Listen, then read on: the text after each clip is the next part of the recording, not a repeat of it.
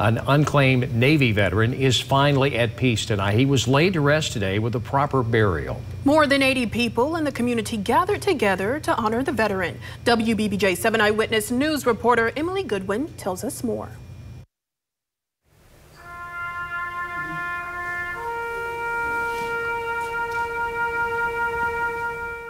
Unclaimed Navy veteran Gerald Williams Mapes Jr. was laid to rest Friday. He passed in late September at the age of 68. Well, I got a call from his neighbor who informed me that he had no known family. And I did the research on my own and was not successful in identifying any family. And so the neighbor asked me, Well, can you help in some way? With the help of many, Mapes was laid to rest at the Tennessee State Veterans Cemetery at Parker's Crossroads. It's been a blessing to me to be able to be a part of this, to just to just be here with all these people showing that support to Mr. Mapes, the, the honors that, that he's deserved.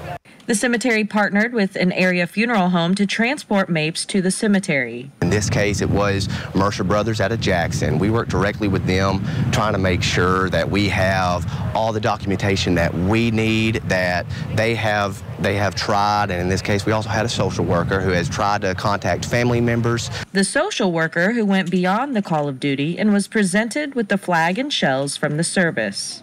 I can present this to his neighbor who was really, he couldn't, he couldn't be here. So this would be a real blessing to give this to him in memory of the dear friend. And and maybe family members may come or, or find out and he can pass this on to their family members. There are nearly 700 veterans buried in the Tennessee State Veterans Cemetery at Parker's Crossroads. In Parker's Crossroads, Emily Goodwin, WBBJ 7 Eyewitness News.